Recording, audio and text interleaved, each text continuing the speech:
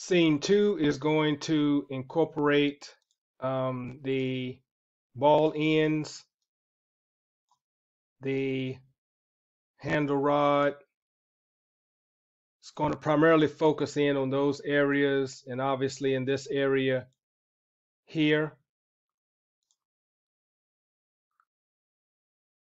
So what we want to do is move the playhead out um, about three seconds. Again, making sure that the view is being recorded.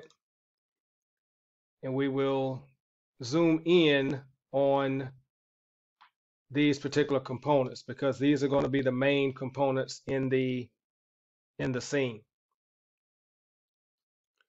We'll move the playhead out some more and go to transform, select the ball end. We will click and hold on the arrow along that axis to move that ball end off of the end of the handle. Click on OK. Move the playhead out because what we're going to do is readjust the camera so it will focus in on this end or this ball end. Go to transform, select that ball end, click and hold on the arrow and create the translational movement along that axis. Click OK. So we can kind of see in the timeline, we can kind of readjust and reposition the camera as well as the um, the movement that we created. So if we go down to the controls and restart it, and it will zoom in on that particular area. The ball end on the right will move. The ball end on the left will move. Again, you can use the same technique as we did before with having those two kind of fade away.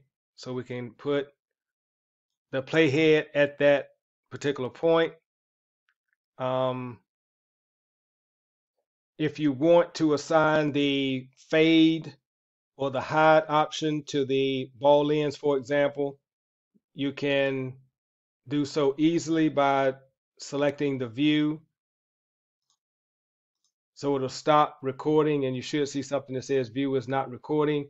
This will allow you to move the product in the scene without it showing up, without that movement showing up in your timeline. We can place the playhead near the area where we want that ball end to disappear. And if you select that ball end, you will see it show up in the browser. So then you can just click on the hide option and what will happen is it will disappear at this point. If you wanted the ball end that you assigned this visibility to, if you wanted to wanted it to start to um, fade away earlier, you can just click and hold on that uh, visibility icon and drag it over. The other thing that you could do is if you want the duration of this to be longer, you could click on it, do a right mouse button click and go to duration. Right now it's set to 0.5 seconds. You can actually change this to um, another length of time and click on the green check. That'll make that happen longer. So you can move this along the timeline where you want it. And that way, when it goes, when it starts to move, you um, can have it to start to fade away earlier. And so adding a little length to the time will actually give you um, the opportunity to see it fade away. So we'll do the same thing to this other ball end, just right click on it, change the duration to one, and click on it and again move it so we can kind of see this one fade away as well. Show the handle moving. Um, we'll take the playhead out and zoom out of this so we can actually see more of the handle. Then we'll take the playhead, move it out some more. Click on the handle, go to transform, and you can either have it to go this direction or the other direction. Either way you want to do it. So we'll just kind of have it moving along that axis. Click on OK. And we could also, again, assign the visibility. So we just click on the eye. That will change the visibility.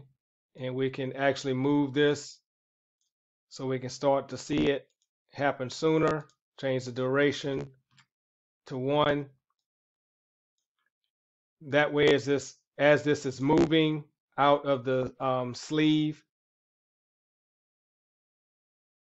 it'll disappear from the scene.